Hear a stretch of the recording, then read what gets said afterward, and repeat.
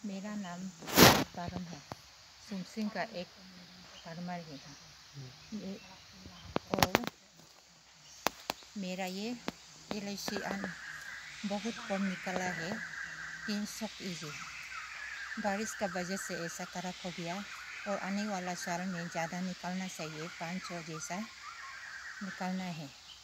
और तके तके भी है अदरक भी है तीन क्विंटल जैसा निकलेगा हमें मेरा अदरक और और आपका फ़ोन नंबर बता दीजिए हाँ मेरा phone number seven six nine nine five eight seven two seven और दोबारा seven six two nine nine five eight seven two seven thank you